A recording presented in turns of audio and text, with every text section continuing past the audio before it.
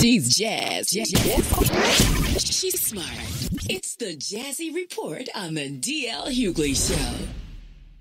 The Education Department has ordered Duke University and the University of North Carolina to remake the Middle East Studies program, saying the department and the programs did not represent enough positive imagery of Judaism and Christianity in the region. Trump in a, did that. In a That's rare Trump. instance of federal intervention in college course content, the department asserted that the university's Middle East program violated the standards of a federal program that awards funding to international studies. That's what Trump. That's the Trump administration. That's exact. You know, and you know who? Betsy DeVos. That's right. It's exactly. crazy.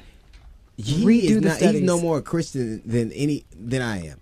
Yeah. But he's he knows that he needs them and to do he look. I'm gonna make sure. You, look, your your your businesses are closing down, your farms are shut down. But at least I say I love Jesus, and you. Isn't that love me crazy? Again. The federal government steps in and tells a, a university what curriculum to do. And it's crazy. Can't learn that. No. Nope. So, uh, a hat that zaps the scalp with a built in patch that produces electricity on its own may combat male balding. the patch, sen- hey Skip, the patch sends electrical pulses to the scalp when triggered by motion, promoting natural hair growth chemicals in the skin. A trial of the device on the balding father of one of the researchers have proved to be, uh, it, it proved him to be able to regrow hair within a month. So now they're designing a baseball cap. No. All right, Skip, uh, Black J, uh, anything? Uh, yeah, nothing on that. they, can walk, they can walk around with no hat humming. Hmm. Well, turn it on low. Anything, Skip? I, I I'm gonna just tell you like this.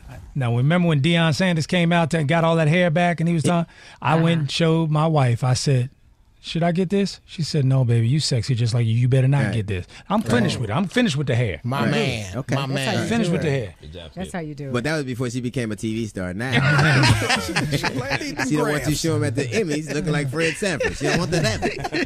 Oh no, I'm a shade of sides now. Wait a minute, I'm a shade of sides. Can't be rocking the bozo. No, no, yeah. homie, don't play that. No.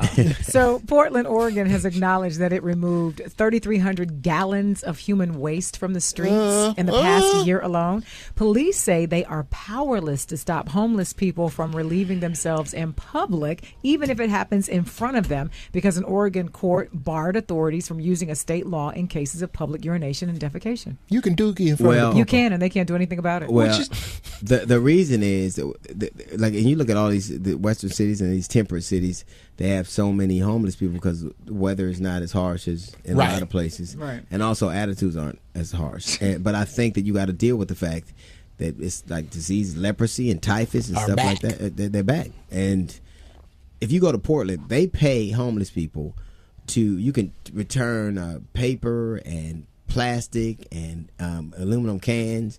They have the cleanest streets I've ever seen, except for all the. But Yeah, I'm for the saying- dookie. Yeah. Well, where else are they going to use the bathroom? It's not Right. like porta potties are anywhere.